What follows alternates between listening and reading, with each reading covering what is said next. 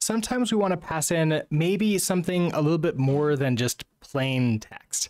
Uh, we can just pass in a string for maybe setting a color, and we can just set you to be like, you know, hey, I want you to be blue. Or if we're, you know, not just passing direct colors and we want to just pass in maybe something something else like okay or warning error. Uh, we want that to be like specific colors associated with those types. That can be a little bit annoying if we're having to constantly parse the strings uh, into what they are and then just like return what the class is and maybe set that.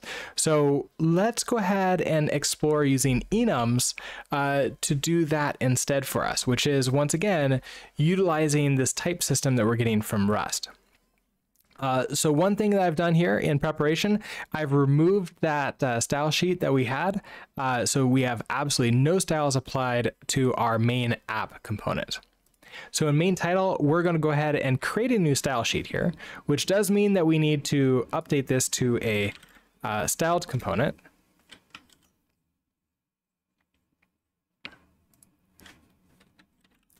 And uh, I want to set up some classes here for what this um, what this is going to be. Uh, now, if I want to do that and actually have a class, that does mean I need to uh, have a wrapper around this.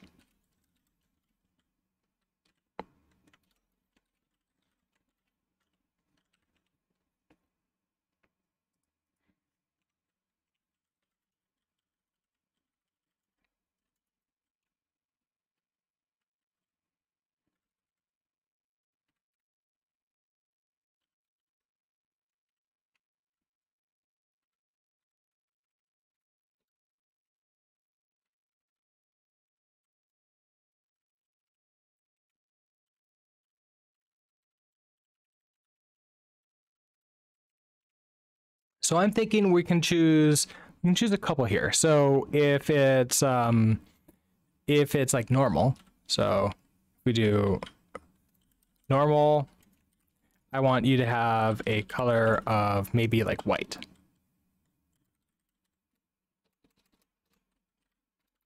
If you're um, okay, maybe,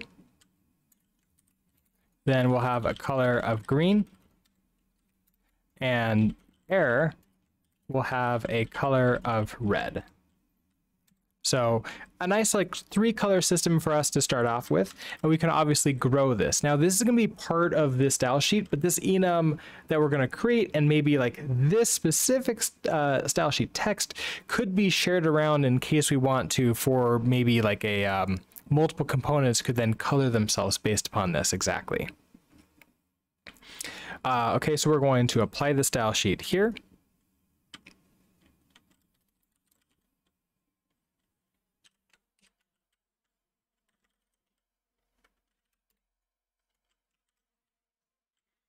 And if we want to go verify that this is working the way we expect it to, I can see that high there still, uh, but we can't actually see anything in it. And if we go and expect it, uh, we will see the style sheet. Let me make this bigger.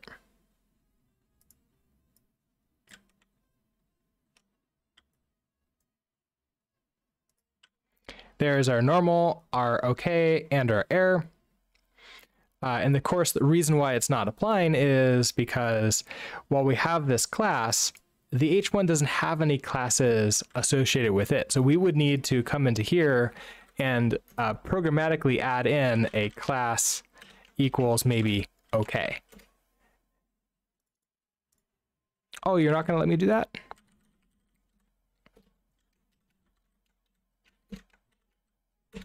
Oh, I guess I guess Firefox won't let me add that in there. Oh, I guess I might need to add an attribute. Class equals, okay. There it goes, and now it's green. So that's exactly what we want to do. But we want to pass that in as a property so we know exactly what to set that as. Uh, well, what we can do is have maybe a uh, color and this needs to be something here. It's got to be some kind of like enum. Maybe we're going to set that as a color enum, which means we actually have to create that. So uh, we're going to do a pub enum color. Um, Now, because this is partial equal, this enum is also going to have to derive partial equal. And we're going to want normal, okay, and error. Now, normally, maybe you might want to say like normal is nothing. So maybe this could be an option. And then if nothing is passed in, then uh, you're going to auto choose that one. Uh, just for simplicity's sake, I'm going to make that a choice here. So we're going to have normal, okay, and error.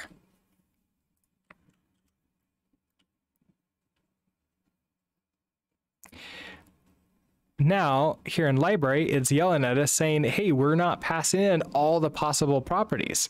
Unfortunately, there's a bit of a, um, uh, the, the, the error message that we get here isn't the best. So this is telling us no method named title found for struct. But unfortunately, what the real error is, is that we're missing a color property.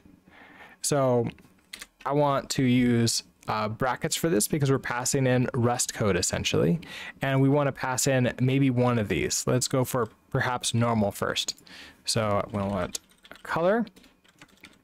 And it actually doesn't know where to pull that in. So we also need to pull in main title and color. So now when I pull in color, it then we can pull in normal autocomplete gets a little bit funny uh, with this, mainly because Rust Analyzer and macros, as of the time of this recording, is sometimes doesn't play well together. And so we get a little bit of weirdness when it comes to autocomplete, uh, but hopefully our macros shouldn't be too complex that we can't just, you know, copy and paste what, what we want in here. Okay, so we're going to start with normal here uh, which means I want to now on this h1 set a class equal to something. Uh, basically, I want it to be a dot nor uh, normal, okay, or error, which matches what we have in this enum. Uh, however, unfortunately, it's not going to be quite that easy. I could put in some code here to sort of like detect what we have, um, but I think it'll be easier to put a method on this color. So we're going to impl color and we're to have a pub function.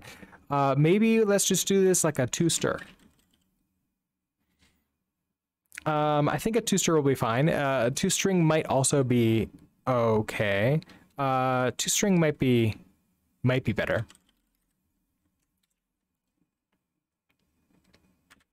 Uh, this is going to take in a reference to self, and we're going to return a string. So we're just going to match self and have Rust Analyzer fill in these arms. And so now we can see, okay, well, what do we want to do when normal is here? Well, what we want is normal, and then just make this to owned.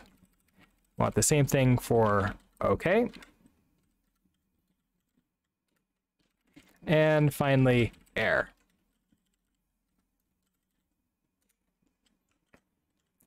And what this means is that we can now use this property with the toString method uh, for ourselves down here. So we can say props dot color toString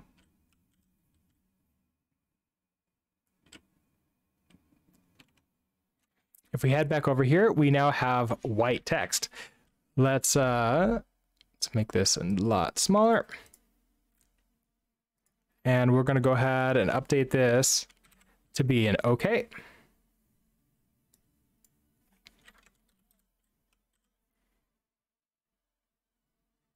and that updates it to, to green. So that's a way for us to now pass in an enum, or we could use structs here too. It doesn't, you know, the, the is the limit for what we can pass in. We don't have to just limit it to strings.